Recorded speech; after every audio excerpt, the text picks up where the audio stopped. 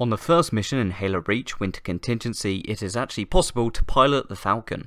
First off, what you want to do is load from the second checkpoint, follow what I do, and you need to get the plasma pistol. Then overcharge it, fire it at the Falcon, and while doing that, shoot at the Falcon with your AR, for example. And the pilot, which I think is June, I don't quite remember, will jump out.